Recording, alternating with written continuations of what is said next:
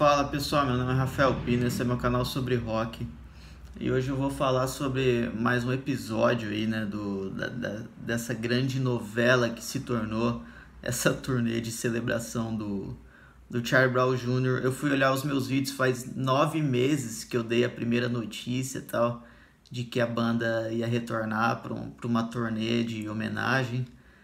E essa novela foi se, se estendendo com muitas brigas.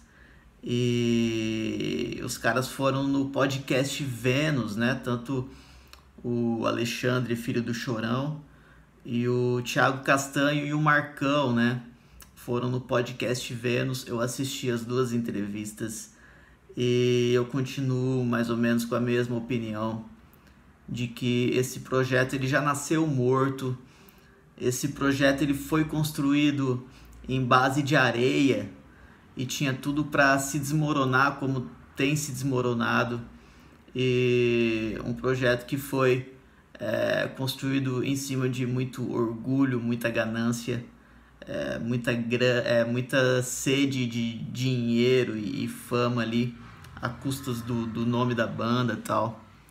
É, e na minha opinião eles tinham que desistir de tudo isso, mas pelo que tudo indica, os caras vão continuar batendo a cabeça aí. Na minha opinião, por ganância e orgulho mesmo. É, tanto o Alexandre também parece ser um cara bem orgulhoso. O Thiago Castanho também parece que agora quer provocar e, e continuar o projeto mesmo assim por orgulho também.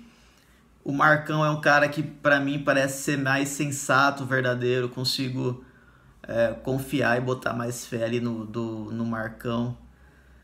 O Thiago Castanho é um cara que fala muita coisa coerente ali também, mas eu não sei se ele é um cara que dá pra confiar tanto mesmo. Ele é um cara também meio com uma cara de problemático assim. E o Alexandre nem se fala também, né? Um cara que você olha para ele, você vê como ele é ele realmente tem alguns problemas ali, um cara que nunca aparecia, né, durante a vida do, do Chorão, do, do Charlie Brown. E de repente, depois da morte do, do Chorão, já quis arrumar, arranjar esse show aí de tributo e aparecer na mídia e tal. É, já quis monopolizar o projeto, né, pelo que eles falam. E eu não sei, eu achei um cara que quer tanto fazer um show de homenagem pro pai, mas tem um momento ali que eu achei bem feio o jeito que ele se ele se direciona ao pai, né? Fala, eu tava no saco daquele filho da puta. Eu achei umas palavras bem pesadas, né? Para um, pra um pai já falecido que é, supostamente você quer fazer uma homenagem pro, pro pai, né? E acho que dá a entender também que é um, um rapaz bem problemático. O Thiago Castanho também deve ser um cara bem difícil.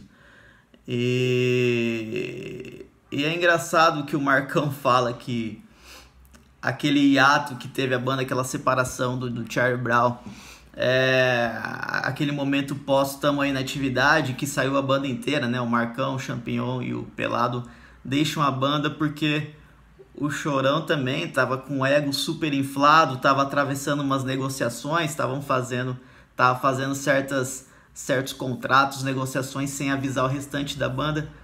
E eu achei interessante porque é exatamente o que eles reclamam do Alexandre, filho do Chorão. Então, é, será que o, o Alexandre não puxou isso do pai também? Porque a gente sabe que o pai, o Chorão pai, também era um cara bem é, de relacionamento difícil, né? Bem orgulhoso, de ego inflado também. Que Deus o tenha, um grande artista, um, um grande rockstar, mas é, é, um cara que brigou com todo mundo, né, cara? Todo mundo da banda teve uma briga feia com o Chorão.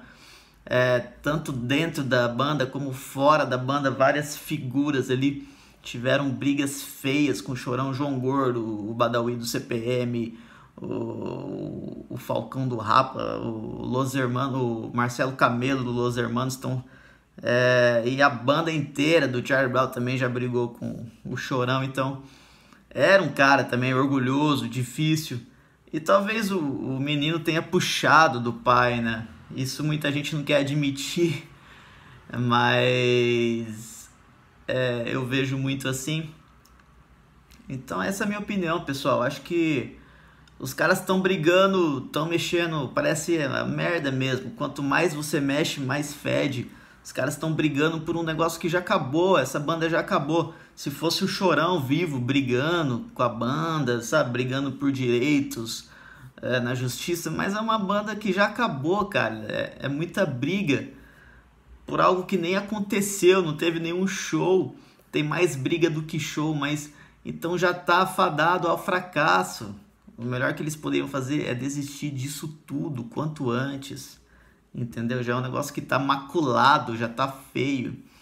É, acho que cada um podia relaxar aí, ir para um, cada um para um canto e esfriar a cabeça, esquecer disso tudo, cada um seguir seu rumo.